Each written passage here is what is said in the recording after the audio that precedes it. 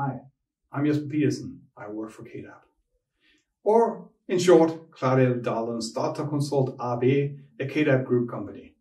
Shall we just call it KDAB? Anyway, jokes aside, in this video and many, many videos to follow, I'm going to introduce you to QML. QML is this beautiful language that sits on top of C++, or Qt, the core library in the C++ layer. In the core library, or at the C++ level, that's where your business logic is going to be. On the QML, QML level, that is where your user interface is going to be. I'm going to show you how to develop user interface in QML. I'm going to show you how to connect that to your business logic in C++. But we'll start out with five videos here. The first video, which you already are watching, will see Hello World in Qt. Well, Hello World in QML and Qt. When I say Qt or QML, I really, in this video series, mean the same thing. Following that, I'm going to introduce you just shortly. It's not going to be like a 10 hour video, but I'll shortly introduce you to the history of QML and Qt. Enough history so you know where it comes from, because there's a lot of legacy in QML that comes from the days of, of Qt, the widget version of, of Qt. Following that, we'll see a video where I'll talk about elements and properties. That's a core thing to understand when you're developing QML user interfaces. Another important thing to understand when you're developing QML interfaces is property bindings, and we'll talk about that in video four. And then I'll finish off this first section of the, the video series here with an exercise. It's from our regular trainings. So this whole training, this whole video series that you see here is usually our on-site or scheduled trainings. But I'll show you just one example of the exercises that we have there. And I show you this particular exercise because there's a lot of learning for us to get from that.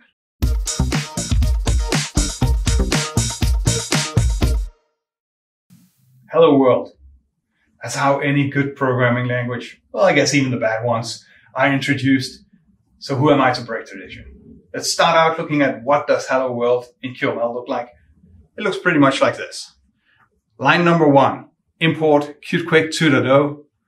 If you come from a C or a C++ background, an import statement tastes much like your include in C++, and that's exactly what it is. It tells you that there are stuff in something called QtQuick that I want the 2.0. Let's talk about that a bit later. It basically says I want the version that was in that library when it was called 2.0.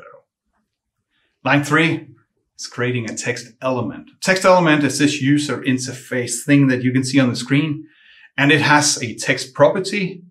And I'll bet that you already now know what the text is going to be. Yeah, you're right. Hello world. So the text property says that it should have the value hello world. Okay. Yes, but can you please stop? I want data from my satellites to show up on my screen. I can only get to that via C++. Can we go right ahead and talk about how I do get my stuff from C++? I'm sorry, I can't do that.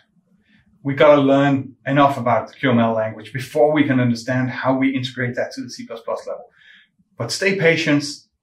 25, 2031. That's the exact number videos out from now, I'm going to tell you exactly how you do that. But I'll give you a service here. I will show you enough so you can at least get it started here. How do you integrate with your C++ side of things? You do it like this. Here is a main.cpp. My main.cpp has an include statement. My include statement, you know what that is, right? This is not a C++ training. Main, we already seen that in many other examples. Line number five, that's where things start to be cute. Here I am creating an instance of a QGUI application. That instance is the integration to the underlying layer. That's how it gets data from the, the, the driver underneath that is connected to a keyboard and so on and translate that into to the QML land.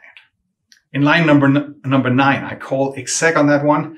And that's basically our while true loop of course, it's not a while true, but conceptually, it's a while true loop that runs around all the time asking the underlying layer, did anything happen? And then it will say, yeah, well, the user actually took his fat finger on the, on the user interface at this particular point, and then it'll translate into a mouse event on the QML.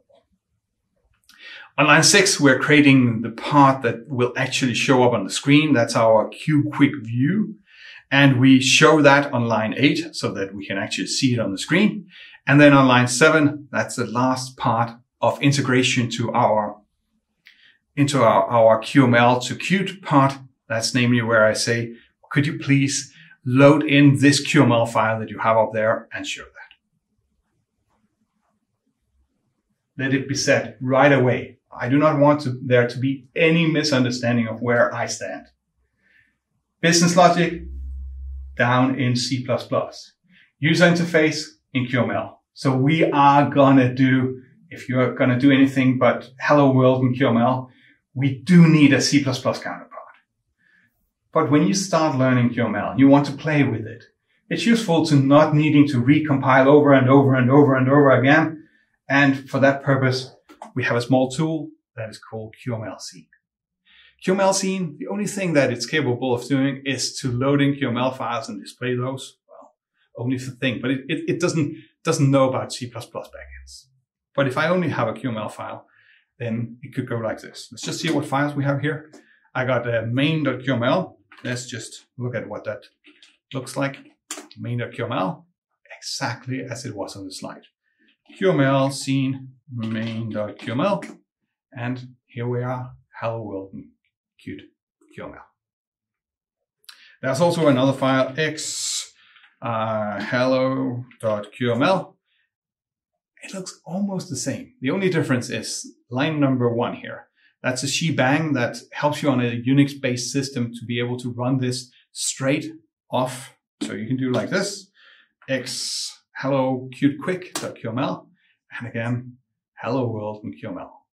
Isn't it beautiful?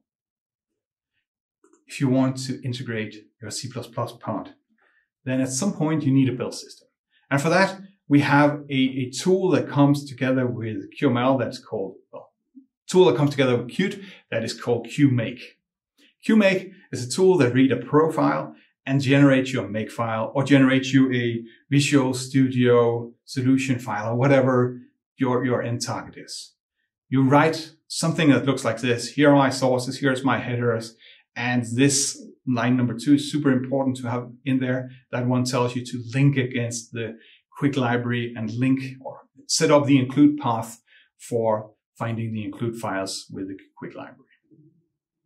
So if I go back to my shell here, I can now run qmake on what was it called? x.pro. And if we look again, you can see there's a few more files now. Now there's an, a make file, and this is for my inmake. It's compiling my very simple binary. It's linking it. And uh, if I look into the release directory, now I have a binary in there. And uh, it goes like this, release, goes like this, release, x hello world.qml. And it's time to, to dry the tears in your eyes. It's up there again, this hello world that we've seen three times by now. That's it for this video. In the next video, I'm going to go a bit behind the, or go a bit into the history of Qt. The reason why I do that is there's so much legacy in Qt or in QML that comes from the history of Qt. So we got to understand that. And as a bonus, I'm also going to give you a short way out of this video series. No need to listen to my terrible jokes for six hours straight. If it turns out that, hey, QML is not for you, it might be that Qt widget or OpenGL or Qt 3D was a better solution for you. So we'll talk just a bit about the architecture. Until next time, have a good time.